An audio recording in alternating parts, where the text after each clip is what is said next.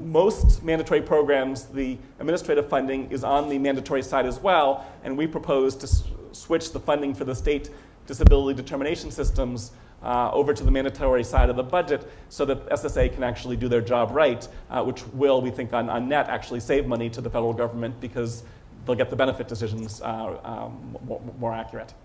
Um, but the second thing we, we, we, work on in this proposal is uh, trying to figure out how we can develop a system of support for the people who can go back to work, but today are, are, are ending up on, on, on DI and, and, typically for the rest of their lives once they start.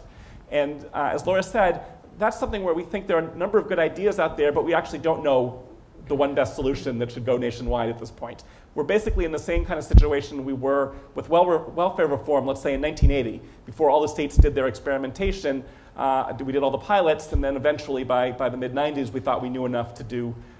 welfare reform. We basically need to unleash that kind of experimentation in the disability insurance system. And so, what we call for is three types of pilot programs.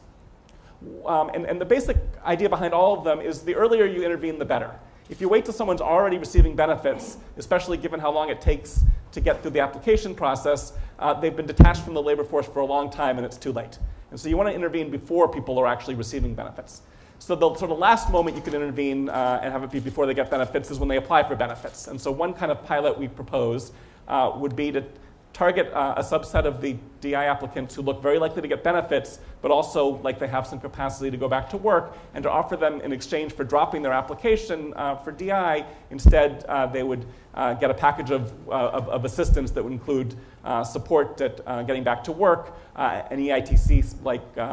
wage subsidy, and, and, and some other things. Um, so that's sort of one type of pilot we need to do. Uh, but we also think we need to do pilots uh, based around firms that give firms a better incentive to try to keep uh, their workers employed rather than putting them uh, onto the DI system. And we also have to give states the incentive uh, to package all the different federal uh, streams of money that come to them to deal with the um, disabled population uh, in more creative ways uh, and, and give the states basically shared savings so that if they can produce savings for the federal government by doing a better job of keeping people off these federal programs, the states would actually share some of that benefit.